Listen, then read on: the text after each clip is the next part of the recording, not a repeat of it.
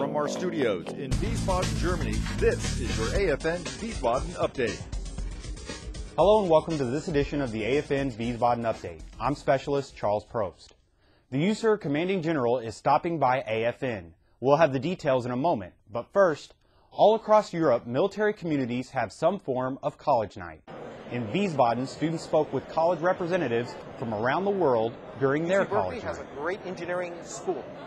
Uh, for chemistry, we're usually ranked uh, number um, one Students from Wiesbaden High School packed into the gym to get information that they can use to help plan their futures. The high school held a college night to bring together college reps from over 25 schools in the U.S. and Europe. One of the representatives from the University of California at Berkeley thinks that a college fair is very important for high school students, especially here in Europe.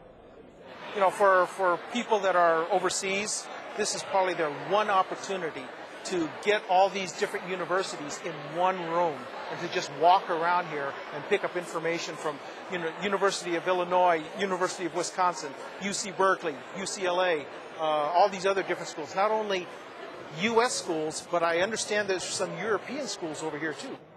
To get more information about college and upcoming events, visit your local education center. Be sure and tune into The Shack tomorrow morning on AFN The Eagle when USAREUR Commanding General Lieutenant General Mark Hertling stops by to answer your questions live on the air. To get your questions in early, visit the AFN Wiesbaden Facebook page and post them in the comment section. You can watch this newscast again by visiting our website at wiesbaden.afneurope.net.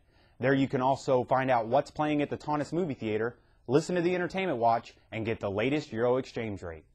That's the AFN Wiesbaden update. I'm Specialist Charles Probst. Thanks for watching.